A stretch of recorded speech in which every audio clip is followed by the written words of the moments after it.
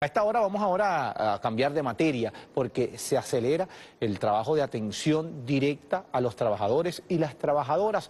Por eso establecemos un contacto con nuestra compañera Egni Ángel en materia eléctrica nacional. Buenas tardes, a esta hora te saludo desde el Círculo Militar en Caracas, donde efectivamente se realiza un encuentro nacional con 69 consejos productivos de trabajadores y trabajadoras. Vamos a escuchar de inmediato declaraciones del ministro y vicepresidente sectorial de Obras Públicas y Servicios, general en jefe Néstor Reverol. Es necesario darle forma, es necesario darle estructura a los consejos productivos de trabajadores y trabajadoras, en este caso los consejos productivos para el servicio, para el buen servicio eléctrico.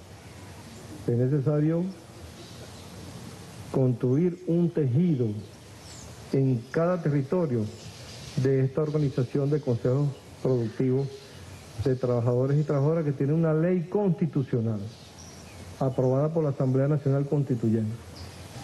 Y tenemos que conocer esa ley, manejar la ley, discutir la ley con los compañeros y compañeras en cada una de las plantas, en cada uno de los servicios que ustedes prestan. Estructurar el Consejo Productivo de Trabajadores y Trabajadoras. Que cada territorio se organice los CPT para que creen un gran tejido y todos los trabajadores y trabajadoras de la Corporación Eléctrica Nacional se sumen a esa fuerza trabajadora. Un sistema de alerta temprana, que lleguen aquí a los gerentes generales la información en tiempo real para resolver algún tema vital que vulnera la estabilidad y confiabilidad del sistema eléctrico. Tenemos una amenaza económica tenemos una amenaza social. Y ahí entramos nosotros. La vulnerabilidad de los servicios públicos.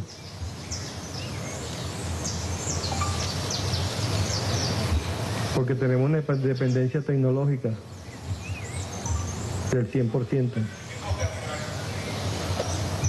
En la hidrología, el agua, en el transporte, en la basura, en el sistema eléctrico,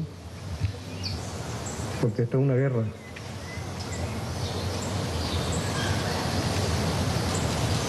Estamos enfrentados a una guerra multiforme.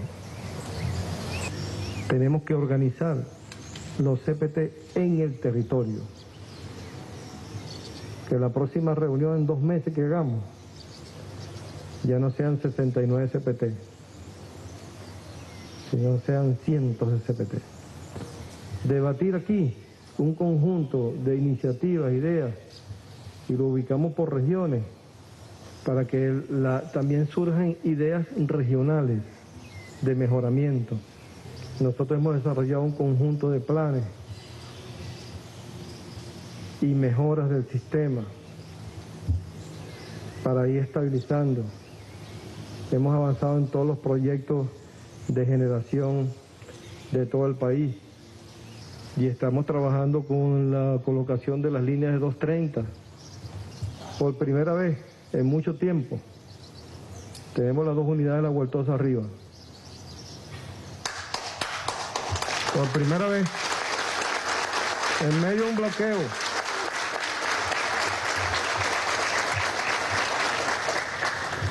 Y tenemos las dos unidades de Gatón arriba también. Necesitamos que ustedes motiven a la gente abajo, organicen la fuerza trabajadora, sean vigilantes, ojos y oídos del sistema, al amor que debemos tener por el sistema eléctrico nacional, que es nuestra, nuestra vida. Que ustedes aquí se formaron, y muchos de ustedes tienen 15, 10, 20, 25, 30, 40 años. Este encuentro tiene que salir un conjunto de ideas y yo a mi nivel he coordinado las acciones que sean necesarias para seguir avanzando en todas las áreas que sean necesarias en la estabilización, confiabilidad del sistema, pero también en el bienestar social de la fuerza trabajadora. Tenemos que renovar y reconvocar el sentido de pertenencia de esta noble institución. Tenemos que trabajar en un plan nacional del Sistema Eléctrico Nacional a cinco años. Hemos instalado más de 57 mil luminarias y seguimos instalando. Hemos entregado más de un millón y medio de bombillos. Los mismos trabajadores de Corpolé, de los talleres, de Chacao, han recuperado más de mil vehículos. Más de mil vehículos.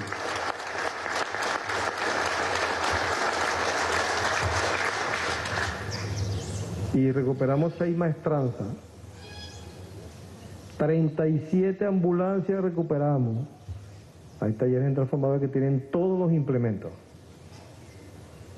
¿Qué tenemos que hacer? Bueno, recuperar los transformadores y los mismos trabajadores ¿eh? ya reensamblamos o recuperamos 1.500 transformadores que estamos repartiendo a los estados.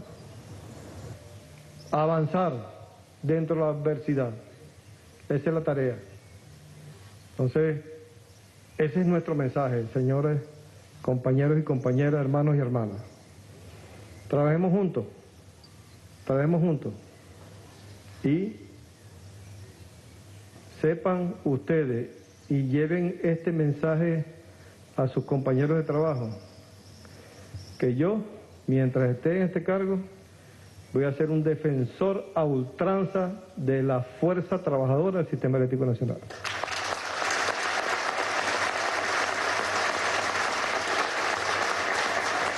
Allí tenían las declaraciones del ministro Néstor Reverol, quien ha ofrecido un balance de este encuentro nacional que realizó y que sostuvo la mañana de este jueves. Ha informado que han sido instaladas más de 57 mil luminarias en todo el país, más de medio millón de bombillos entregados, recuperados, también ambulancias y vehículos, todo esto con el compromiso de la clase obrera del Sistema Eléctrico Nacional. También extendió la invitación a toda la clase obrera a crear un gran tejido que sea una alerta de voz temprana para que se recupere el estado de bienestar social dentro de la corporación eléctrica. Con esta información yo despido este contacto. Adelante.